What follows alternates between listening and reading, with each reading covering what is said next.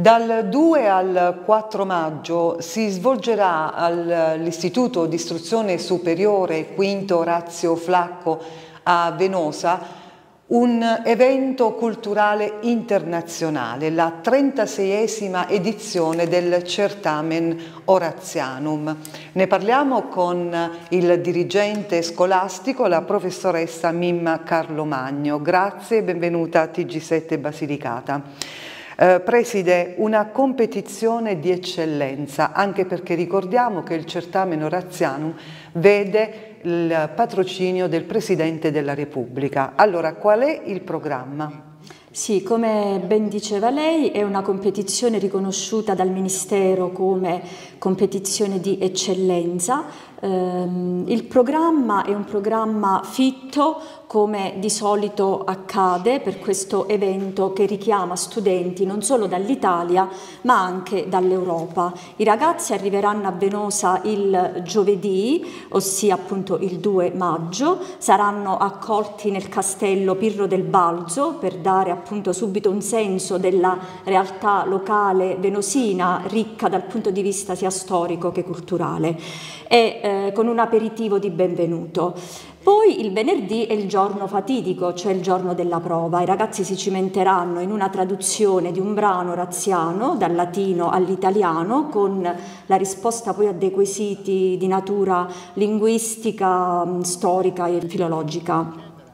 Eh, ci sarà anche una prova artistica accanto a quella canonica di traduzione per i ragazzi che provengono dai licei artistici.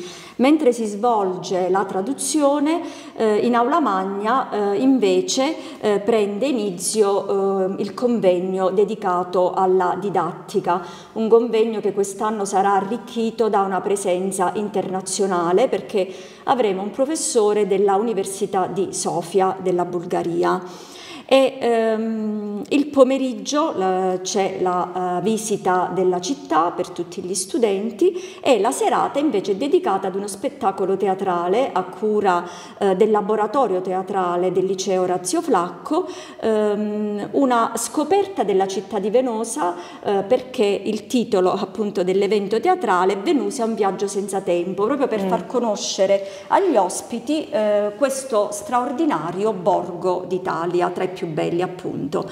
E eh, il sabato invece è la giornata dedicata alla eh, premiazione eh, arricchita quest'anno da un ospite diverso. Abbiamo scelto infatti un dirigente eh, d'azienda controcorrente rispetto eh, agli altri anni in cui abbiamo sempre invitato dei latinisti ehm, di spicco nel panorama culturale italiano.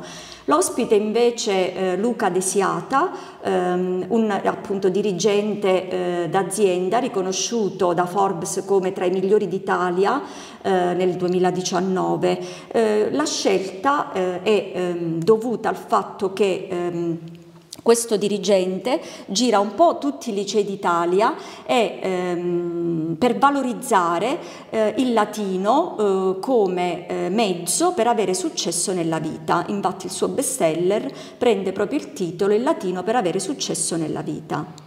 Quindi dicevamo una, una, competizione di eccellenza, di eccellenza anche perché, perché sono eh, coinvolte 10 regioni italiane e anche altri paesi europei. Sì, allora il requisito per il riconoscimento dell'eccellenza è appunto la presenza di almeno 10 regioni italiane e fortunatamente eh, abbiamo raggiunto questo numero eh, che è un numero che si raggiunge sempre di più con fatica perché ehm, portare a Venosa studenti che provengono da 10 regioni d'Italia significa portare almeno mezza Italia qui, cosa non semplice, però anche quest'anno ci siamo riusciti probabilmente perché il certamen è ormai considerato come un evento eh, nazionale che è eh, considerato di grande pregio per gli stessi sì. studenti che partecipano. Abbiamo anche tre nazioni estere, cioè l'Austria, la Bulgaria e la Romania.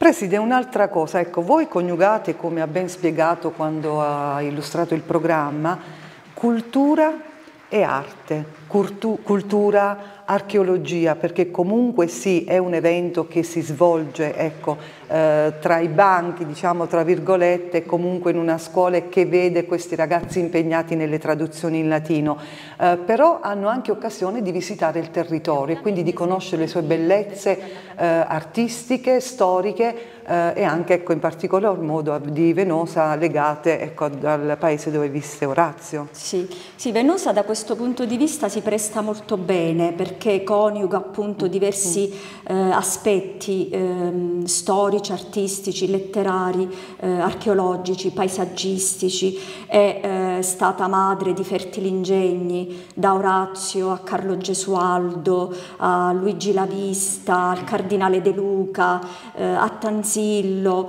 cioè davvero un, un paese che ha delle potenzialità enormi e infatti proprio per questo quest'anno abbiamo pensato di iniziare una piccola rubrica che ehm, affianca ad Orazio altri personaggi illustri. Infatti la rubrica prende il nome di Venosa non solo Orazio, per far capire che appunto ci sono diversi aspetti che, che di questo altro. paese vanno eh, valorizzati e inizieremo proprio con Carlo Gesualdo che ehm, sicuramente conosciuto a livello internazionale, mm. forse di meno a livello locale e nazionale, perché sicuramente rappresenta un unicum nel panorama della musicologia, il principe dei musici.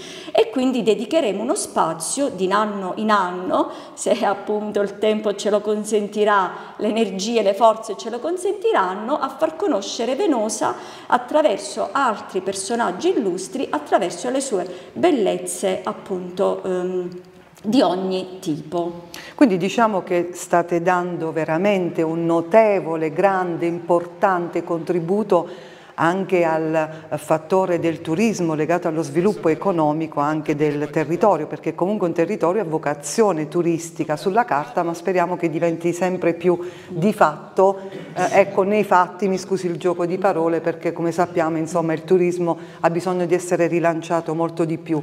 Eh, Preside, veniamo al premio. Qual è il premio riservato al vincitore? Allora, un premio in denaro eh, di 500 euro, ma non solo, perché poi abbiamo um, un premio che è molto più um, alto in quanto il, lo studente vincitore viene inserito nell'albo dei migliori studenti d'Italia, proprio appunto per la valorizzazione delle eccellenze. E vorrei chiudere con un omaggio a questi giovani perché lei più di me che un'educatrice, una dirigente scolastica sa che spesso eh, vengono sempre criminalizzati un po' questi giovani di oggi ai quali si danno tutte le colpe, eh, tutte le responsabilità di una società che non va bene, di un mondo che non, che non va bene. E invece forse ecco, ci vorrebbero un po' dei valori eh, comuni da condividere che gli adulti devono trasmettere ai giovani, però in questo caso i giovani stanno dimostrando che la buona volontà, che studiano e che ci tengono a raggiungere certi traguardi.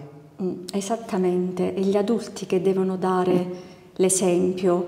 Negli anni di esperienza scolastica ho potuto constatare che i giovani sono sempre gli stessi. Noi siamo stati giovani e siamo stati forse appunto come questi giovani eh, ragazzi che hanno bisogno di ehm, exempla, cioè di modelli paradigmatici e sono quelli che stanno venendo meno, tant'è che ehm, Dimos la dimostrazione che ci sono ancora studenti che traducono dal latino sta a significare che quello spirito eh, studentesco non è venuto meno, sì. è venuto meno un patrimonio di eh, valori che, eh, non eh, che, non dipende assolutamente dai giovani.